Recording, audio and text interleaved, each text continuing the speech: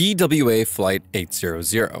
On July 17, 1996, Transworld Airlines Flight 800, a Boeing 747, took off from New York's JFK Airport on a journey to Paris and Rome. But just 12 minutes later, as it climbed through the night sky, a massive explosion tore the plane apart. All 230 people on board were killed. The fireball was so large and bright that dozens of witnesses on the ground, some as far as 10 miles away, saw it. Their accounts of a streak of light before the explosion immediately fueled speculation of a terrorist attack, possibly a missile strike.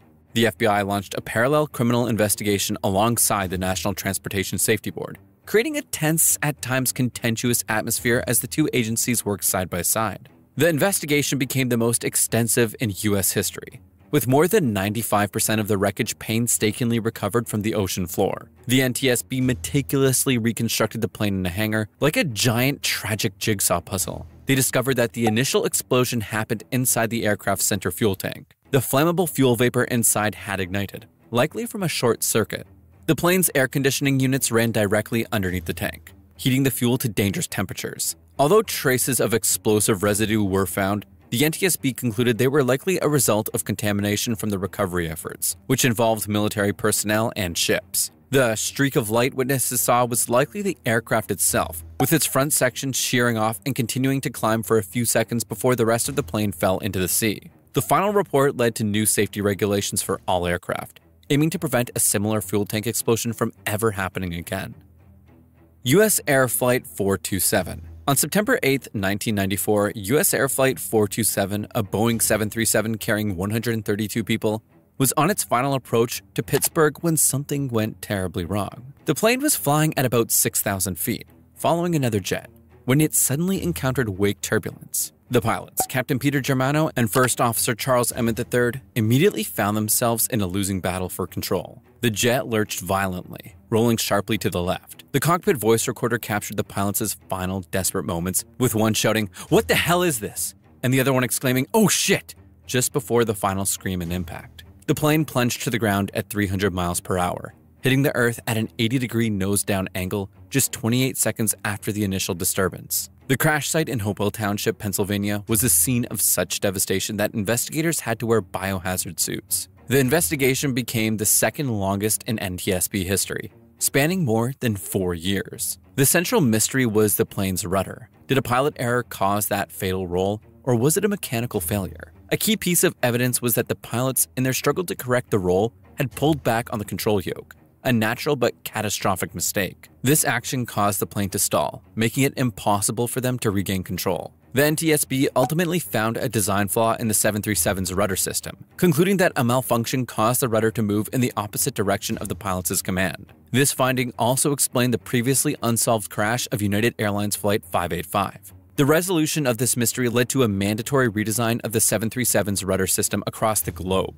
a legacy of the 132 lives lost that day. United Airlines Flight 585. On March 3, 1991, United Airlines Flight 585 was just minutes from landing in Colorado Springs when something went catastrophically wrong.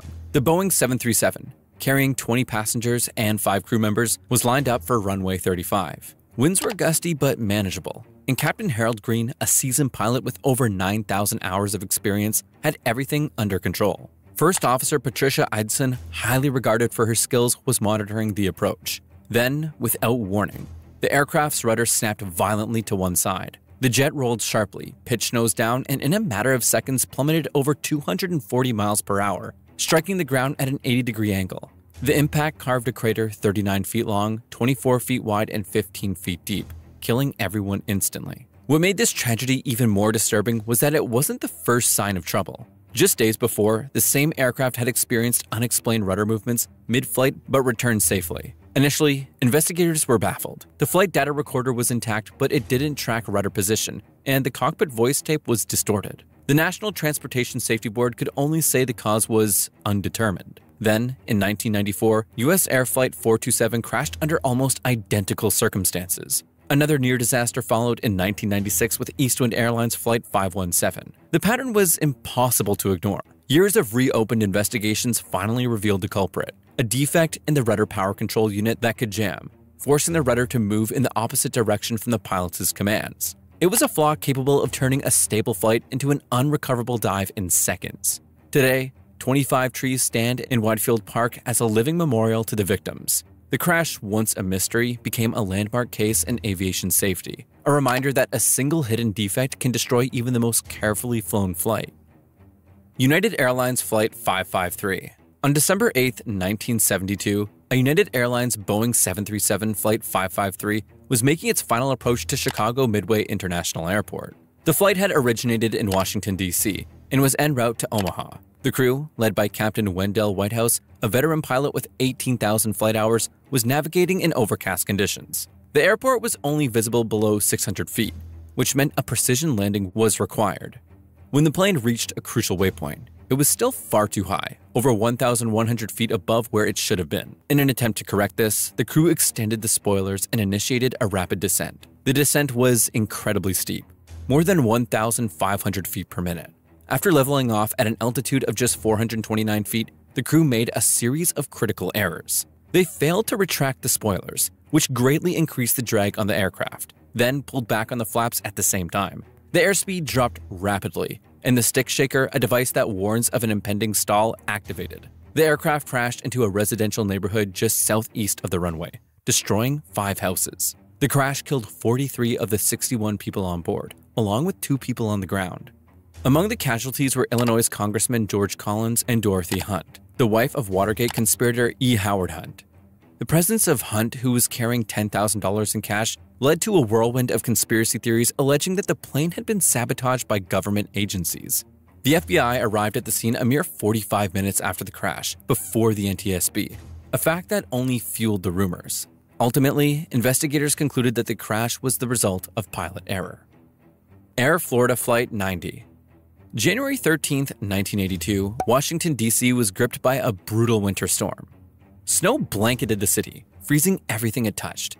Yet Air Florida Flight 90 was still cleared for takeoff. The Boeing 737 sat on the icy tarmac for nearly an hour, its pilots battling more than just bad weather. The captain had a history of failed check rides, and his first officer, a former Air Force pilot, was new to flying in conditions like this. What happened next turned a routine flight into one of aviation's most haunting tragedies. When a ground tug couldn't push the plane back, the crew tried something reckless. They fired the engines in reverse thrust, a move the manufacturer explicitly warned against. It packed the snow tight around the aircraft. Instead of returning for a second de icing, they gambled with time, believing a quick departure would keep them on schedule. Then came an even stranger decision. They lined up behind another jet, thinking its exhaust would melt the ice on their wings. It didn't. The slush froze harder, setting the stage for disaster. As the engines roared and the plane thundered down the runway, the first officer's voice carried unease. The instruments weren't showing enough power, but the captain pressed on. The 737 struggled for lift, eating up half a mile more runway than usual. It barely clawed 352 feet in the air before stalling, crashing into the 14th Street Bridge, smashing into six cars and a truck before plunging into the frozen Potomac River. 78 lives were lost that day. Only five survived, clinging to wreckage in the icy water. One man, Arland D. Williams Jr., became the face of courage. As rescuers lowered lifelines, he handed them to others again and again, refusing his own chance to live. By the time help reached him, he was gone. A silent hero who put four strangers before himself. Pan Am Flight 759. A tragic tale of weather's fury and a plane's fatal last moments unfolded on July 9, 1982, in Kenner, Louisiana. Pan Am Flight 759, a Boeing 727 had just lifted off from New Orleans International Airport, but its ascent was to be heartbreakingly brief. The crew was experienced. The captain and first officer had thousands of hours between them, and the flight engineer was a true veteran with nearly 20,000 hours in the cockpit. But what they couldn't see, and what the technology of the time was ill equipped to detect, was a monster lurking in the humid summer air a microburst. This powerful localized downdraft of air was part of a thunderstorm system, and it slammed into the plane just after it left the runway. In an instant, the aircraft lost vital lift and began to sink, despite the pilots' efforts. The cockpit voice recorder captured a frantic, desperate final exchange as the captain exclaimed, Come on back, you're sinking, Don. Come on back. The plane, caught in this invisible hand of nature, was helpless. It clipped a line of trees, then tore through a quiet suburban neighborhood, destroying homes and leaving a path of destruction. The impact was catastrophic, killing all 145 people on board and eight more on the ground. In the aftermath, a miracle was discovered amid the wreckage and fire a 16 month old baby girl, found in her crib with only minor burns. Her survival was a stark counterpoint to the widespread devastation. The investigation that followed this horrific event and a similar crash three years later would change aviation forever. It exposed a critical blind spot in weather forecasting and airport safety, directly leading to the development and installation of sophisticated wind shear detection systems on both the ground and an aircraft. A grim but vital legacy born from the tragedy of Flight 759. U.S. Air Flight 1493. On February 1, 1991, Los Angeles International Airport became the stage for one of the deadliest runway collisions in U.S. aviation history. U.S. Air Flight 1493, a Boeing 737 carrying 89 people, was cleared to land on runway 24L. At the same time, SkyWest Flight 5569, a small Fairchild Metroliner with 12 aboard, had been instructed to taxi into position for takeoff on the very same runway. The local air traffic controller, distracted by communication issues with another aircraft and hampered by a broken ground radar, mistakenly believed the runway was clear. Moments later, the 737 touched down, and its crew spotted the smaller plane only as the nose lowered to the asphalt. Brakes were slammed, but it was too late. The 737 crushed the Metroliner beneath it, skidded off the runway, and slammed into an abandoned airport fire station. The wreck erupted in flames. All 12 aboard the Metroliner died instantly. On the 737, 23 people were killed, many from smoke inhalation as fire consumed the forward cabin. Survivors faced chaos, blocked exits, passengers unable to open overwing doors, and even scuffles at escape points. Billionaire David Koch was among those who escaped, later describing how close he came to death. Investigators found a chain of failures poor runway use procedures, a blind spot in the tower's view, the lack of external lights on idle aircraft, and a controller with known performance issues. The FAA had failed to address these risks, and LAX's reliance on mixed use runways for both takeoffs and landings had set the stage for disaster. The tragedy led to sweeping changes runway segregation for landings and departures, improved tower visibility, and stricter evacuation material standards. Yet, for those trapped in that inferno, the difference between life and death came down to seconds, blocked doors, and the suffocating smoke filling the cabin. Delta Airlines Flight 1141 on August 31, 1988, Delta Airlines Flight 1141 lined up on Dallas Fort Worth's runway 18L bound for Salt Lake City. The Boeing 727 lifted off, but within seconds, it was in trouble. The jet rolled violently, its tail scraped the runway, and the right wing clipped an antenna, igniting a fire that began tearing the aircraft apart midair. Just 22 seconds after liftoff, the plane slammed back to the ground, skidding more than half a mile before stopping in flames. 14 people were dead, most from smoke inhalation, and 76 were injured. Investigators quickly zeroed in on a shocking oversight.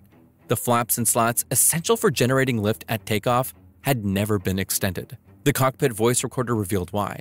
Instead of focusing on their checklist, the crew chatted about dating habits, drink recipes, and even joked about what they'd say if the plane crashed. That juicy tidbit line would come back to haunt them when the tapes went public prompting such outrage from pilots that a federal law was later passed to ban the release of actual cockpit audio. The takeoff warning system, which should have sounded an alert, was dead silent.